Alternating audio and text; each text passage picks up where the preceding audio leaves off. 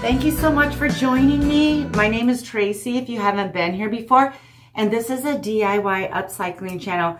Now I've gotten a lot of requests for my headbands and I used to make and sell them along with a lot of other things and they were always really popular and a lot of fun and easy to make. Now I just make mine out of upcycled materials, scraps, found treasures, things that I have around my sewing room. Really easy sewing. Let's get going. The first thing you want to do is take a tape measure and just measure how you, big you want the finished headband to be. Now, wherever you wear it, I wear mine kind of like this. Maybe you wear yours up and down. Just measure, and mine is typically 20 inches, my finished headband. I want my finished headband 20 inches, so I cut my rectangle 20 and a half. Now, it's not quite a rectangle, and I had to piece it together. This is literally all I have left of a really cool sort of velvety blazer, and I wanted to use this, so I'm making it work. It's three and a half inches here and three here. You know, that is just all I have. So I'm just going to fold it like this. Since I'll have to sew these two ends together, I'm going to make sure they line up like that. Now I'm going to my machine and I'm going to fold the top and the bottom on top of itself, right sides together, quarter of an inch. And with a straight stitch, sew all the way down on both sides.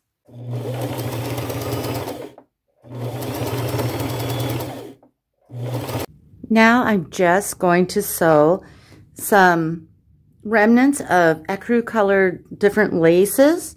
I'm just going to sew them on the edge and I will put it over top of this seam here about halfway. I'll put that seam about halfway and I will not pin these. I will just take these little remnants over to my machine with me and I will use a zigzag stitch, my gold colored thread, and get those sewn on.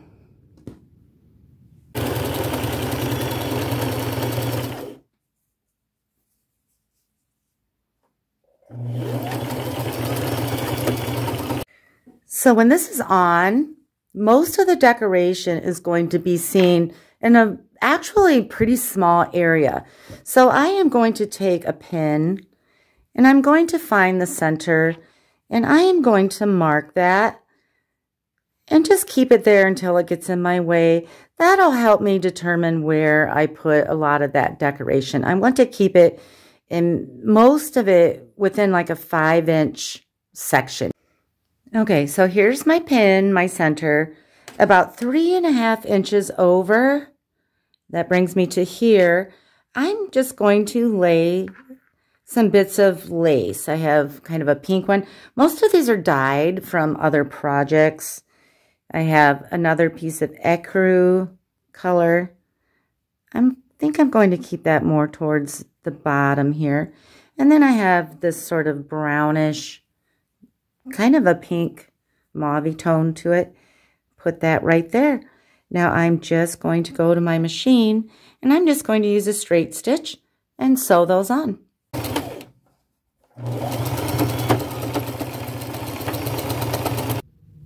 Now I have a tattered little piece from a silk blouse.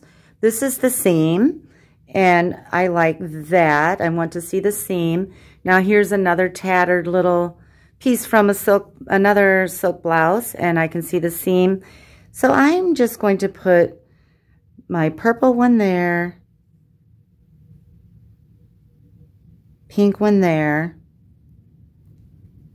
and then I have this little tattered piece of lace. I'm going to lay it right here, and I'm going to cover up that stitching that I just did on those fringes. Now maybe I'll pin these and I'm going to take them to my machine and I am going to use a zigzag stitch on the lace and then a straight stitch and just go around the edges on these pieces.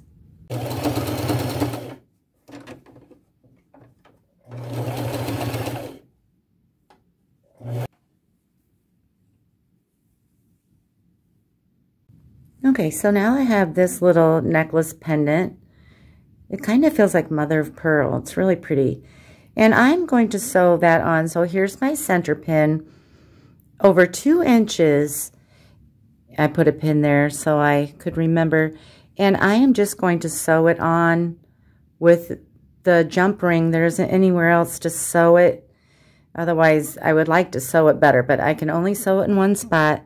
And I'm going to sew that right there so that the flower is sort of in the center here.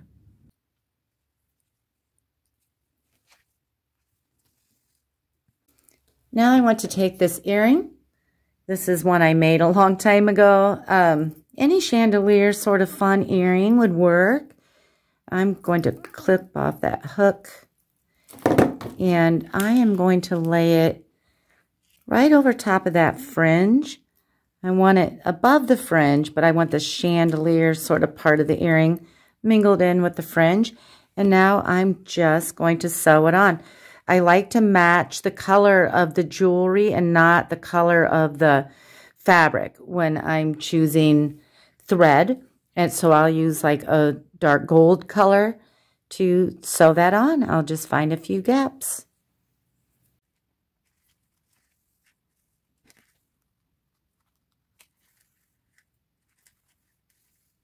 Okay, now I have this sort of beaded chain. And this is what this pendant came off of. It's really pretty. I'm going to keep it doubled just like this. And then I'm going to snake it through the headband. Like it uh, comes up here, down here, down, and will end maybe right there.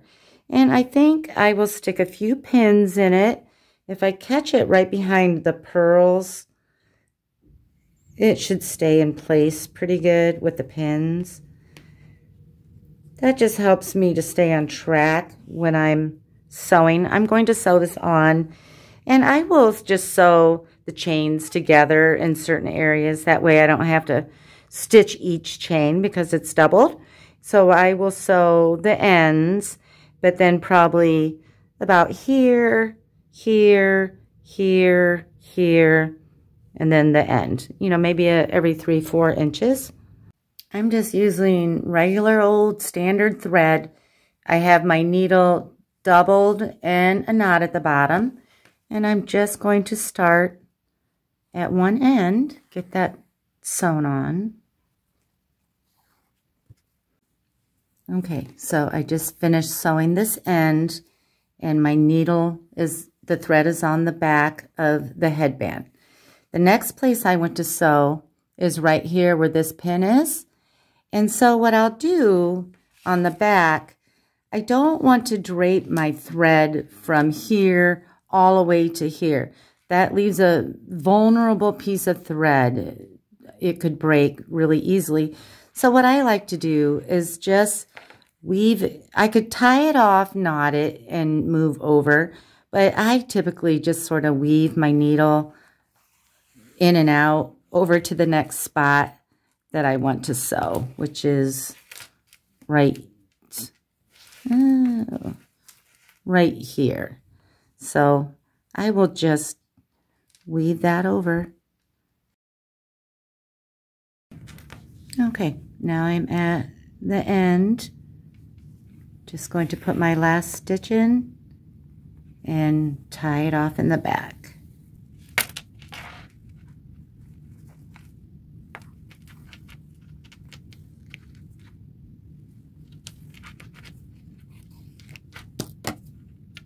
Okay, do you see that my chain has a lobster claw clasp on it? I rarely clip those off because it's an opportunity and a super easy way to add another detail. So I have this little earring part and it has a jump ring on it. I'm just going to hook it to the clasp and there I have another cute detail. So now I have a couple buttons. I went to my tub of vintage buttons and tried to find two that had some luster to it.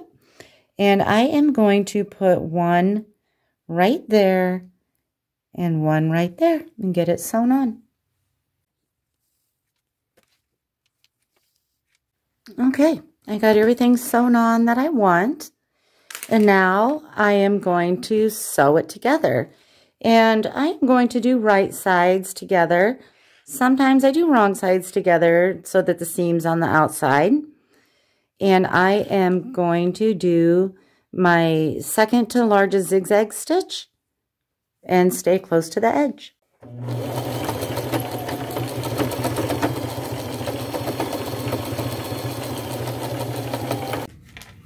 Okay, so there's the headband. So gorgeous. Now, what if you get all done and it's too loose on your head? It can be tricky to get these to fit your head just right. You could always go back in and make your seam allowance larger and make it smaller. But what I like to do is a little trick with elastic. Now I have half an inch elastic. I've used quarter inch and I'll show you what I do. Okay, I have my headband inside out. I drew about a three inch line down the center, about an inch and a half on each side of that seam. And now I am just going to take my elastic. I usually leave it on a roll if it's on a roll because I don't know how much really I'm going to need. So I'll take this to my machine, put the uh, needle above this line at the top, and then stick my elastic in and stretch and sew that all the way down to this line. Because then look what happens. When you release it, it scrunches up a little bit right there. I'm using my second to largest zigzag stitch for this. There's my line.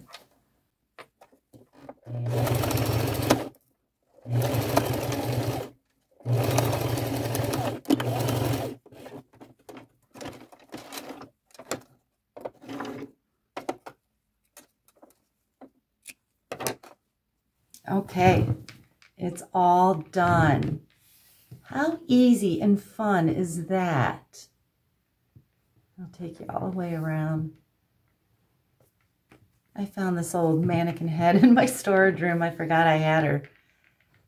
But she has no hair.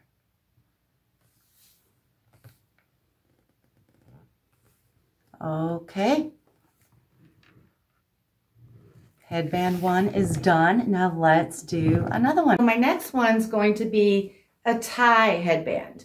And I'm using a piece of lace. I'm not sure where it's from. It has a little stretch to it, so I have to use a zigzag stitch on the whole thing. If you use a straight stitch and stretch it, it'll pop those threads.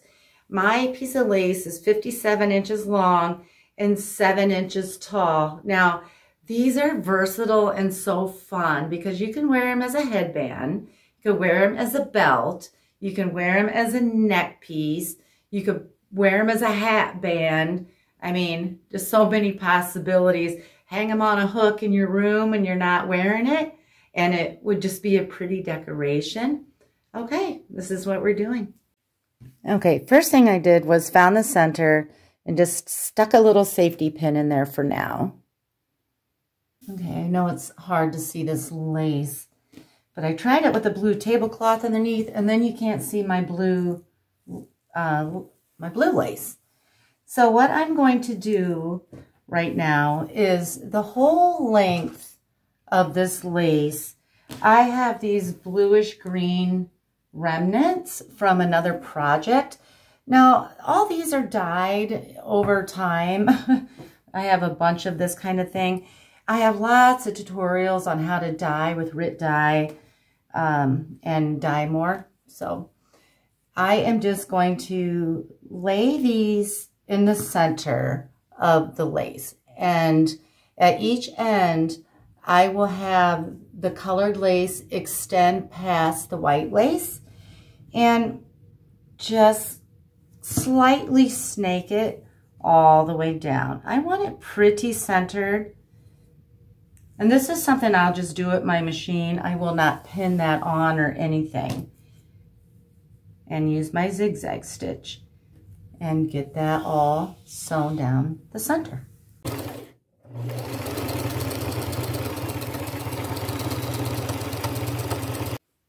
Okay, Now I have some ecru colored lace and I'm not laying it all the way to the end like I did the green. I Here's the center pin. I'm stopping this one here and this one about there. And I just kind of laid on three pieces, kind of like a little wave. And I'll pin these on in a few spots so I don't get confused at my sewing machine. And I'll get those sewn on as well.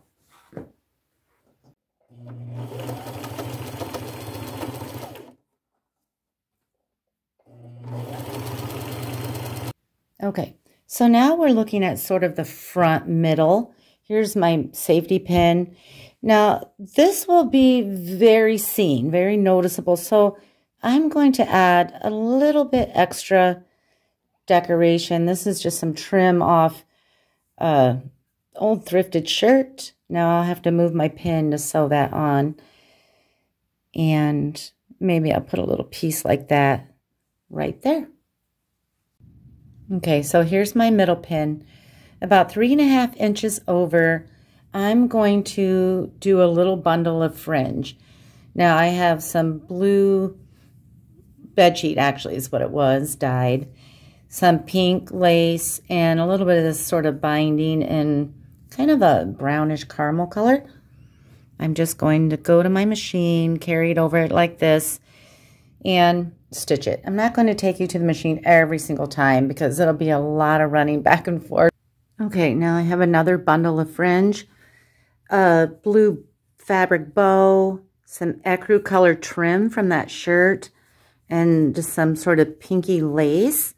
And I am going, here's my center. I'm going four inches this way, and I'm going to sew that little cluster right there. It's kind of hard to film something this long. I want to do a close-up and then how it looks on the entire piece. But, all right, so I just did these fringes.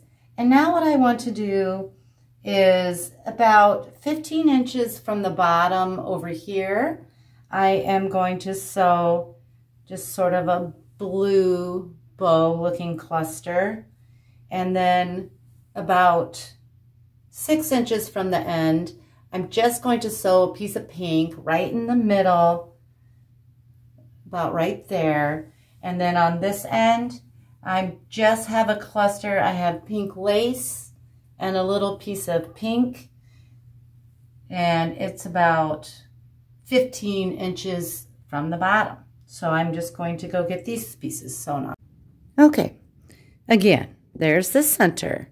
And I have this sort of blue crochet flower looking. It was from a bigger piece, but sometimes they have flower shapes in there you can cut out. And I'm going, oops, I'm going to take this and I'm going to fold it in half and then fold it in half again. And I have a little corner right here. I am going to sew right above this group of fringe maybe really close to it because I don't know how well that lace will hold. And I am going, I won't pin this, but I will stitch right over top of that corner right there. And then it becomes sort of a floppy little flower. And I'm going to use my zigzag stitch and I'm going to go over it a few times because that's a lot of fabric to get through. So I want to make sure it holds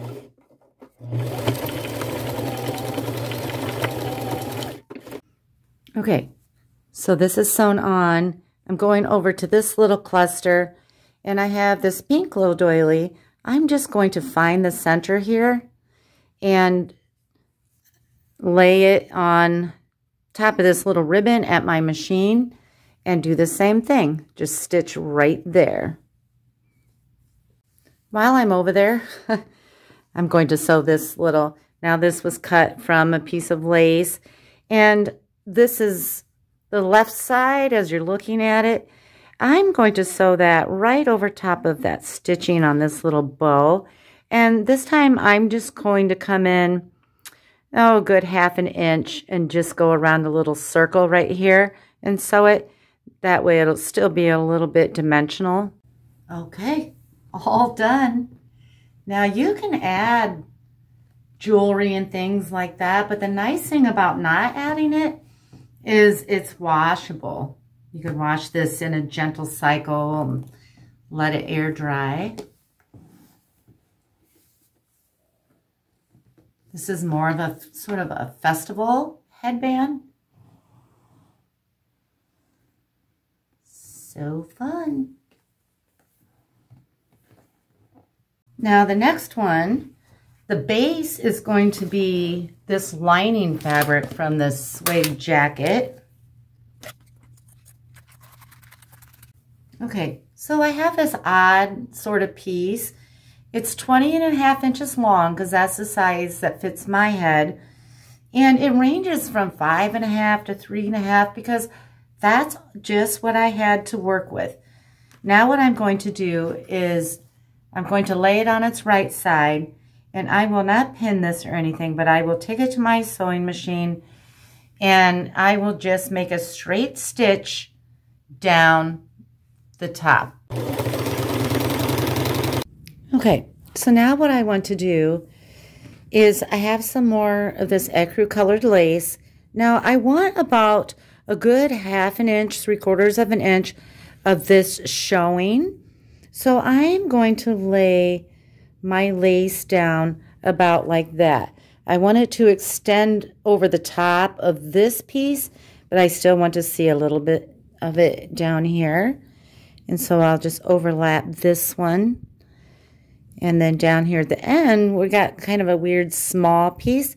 I'm going to put a thicker, chunkier piece of lace there to give that side a little more body. And I am just going to stitch this on. I'll stitch it on like a big rectangle. I'll use my zigzag because I like using that with lace. Go up the side. This one I'll catch the fabric underneath. Just go all the way around.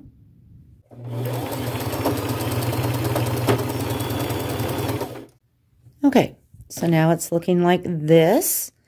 And I cut some fabric strips. This is kind of a hippie pattern, kind of fun. And I'm going to lay that one there. This one about here.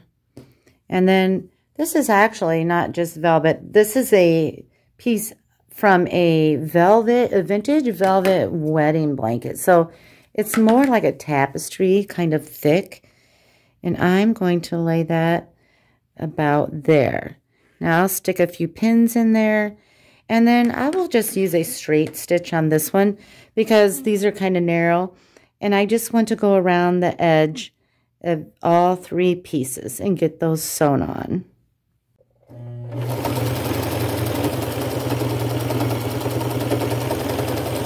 Okay, there's what that is looking like. So rich and pretty looking, I think. And now I just want to add a little bit of metal, some different texture. And recently my girlfriend gave me a few bags. She was cleaning out her closet and this belt was in there. And this is not leather, and usually this is super easy to sew through, this sort of faux leather. And so I am going to, I think, start by cutting off two of these little strips. I'll start with two. I may want more. I may only want one. We'll see. Okay, I think I just want one. When I put two on there, it really seems to hide a lot of that beautiful fabric.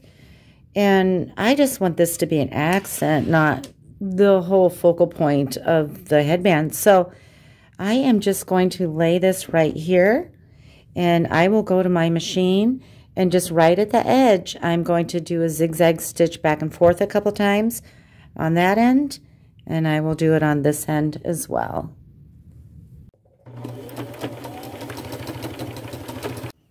Okay, so I have that sewn on.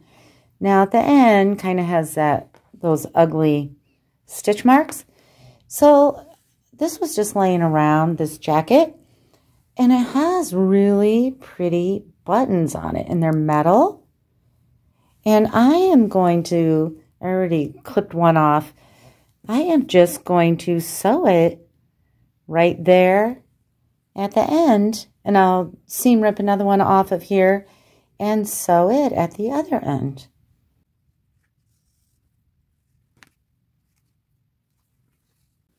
Okay, here's what that looks like.